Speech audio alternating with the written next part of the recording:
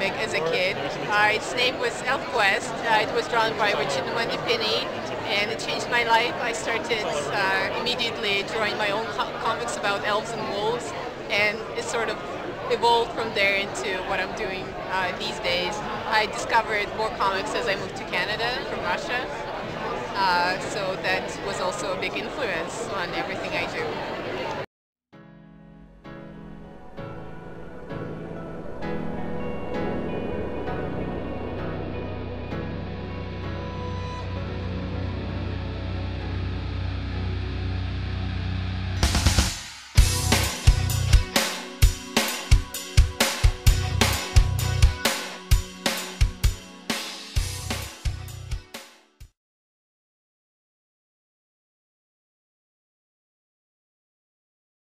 Actually, for this one, I do have an answer, but it's a tie. That's all right. Uh, it's a tie between uh, The Little Prince and Talisman uh, by Carla Speed McNeil, which is a graphic novel, and it's it's brilliant. It's about a book, and it just touches like anyone who loves books on such a personal level.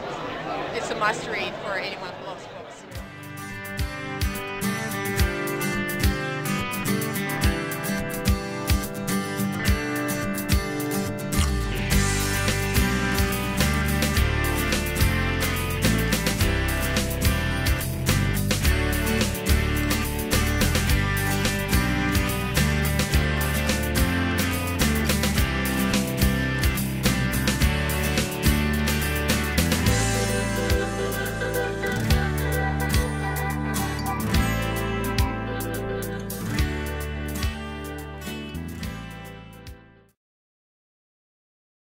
Got a lot of stuff going on.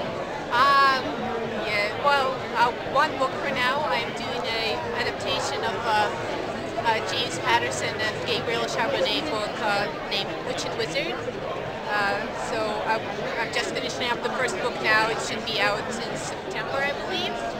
Um, and uh, before that, I finished the first arc for Night School, which is my own series. The last book of that arc